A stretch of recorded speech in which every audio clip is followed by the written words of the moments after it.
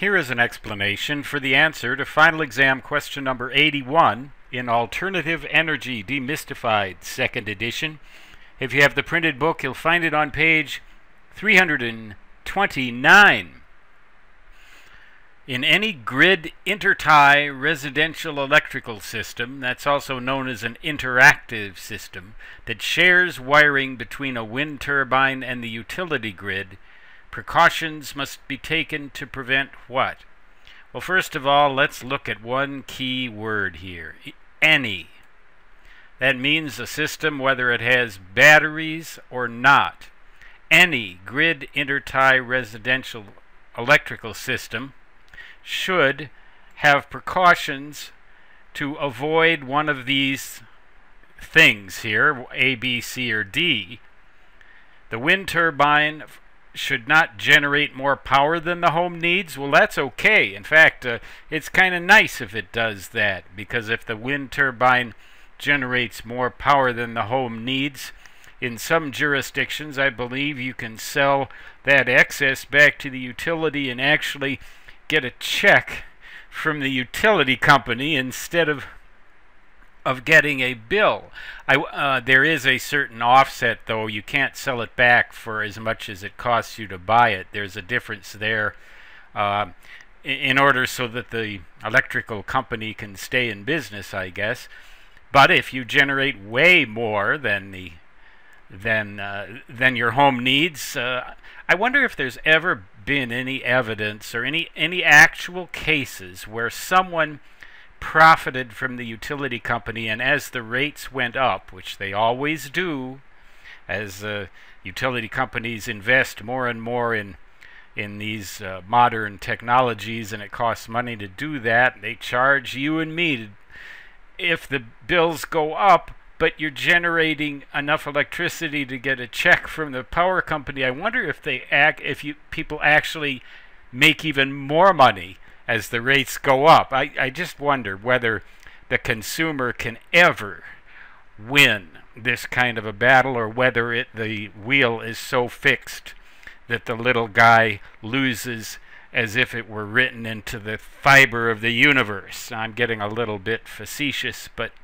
I think maybe those of you who get power bills lately in some places might not think that I'm too far off base there. Well, anyway, we can rule out A because we, we don't need to avoid that situation.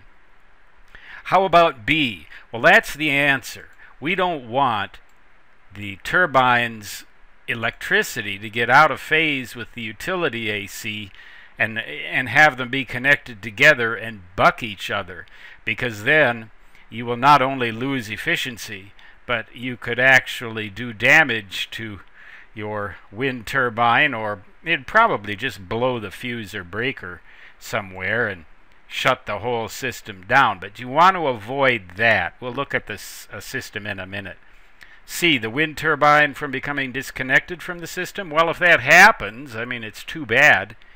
Uh, in some cases, it, it has to happen. For example, if the wind turbine has to shut down during a high wind or a hurricane or a or uh, if in fact the wind turbine gets struck by lightning, any any of those kinds of things, it's it's going to shut down and disconnect, but you don't need to take precautions to prevent it. It's just too bad if it happens. D, the batteries from overcharging. Well, not all grid intertie systems have batteries. Those uh, systems that do have batteries you definitely don't want them to overcharge or totally deplete.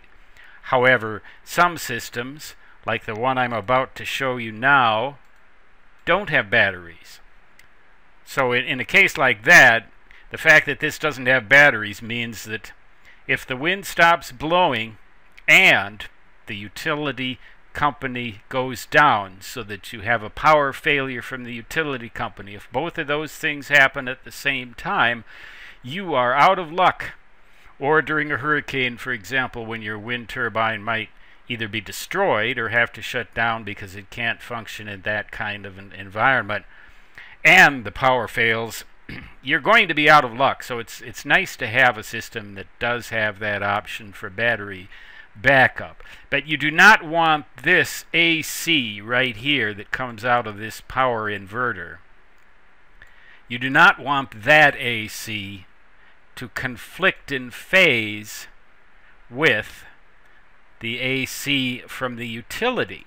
Because if that happens, you're going to have a problem. So you need to keep them in phase, and that's uh, what this power directing and and regulation circuit and all of this electronics, this sophisticated stuff will do.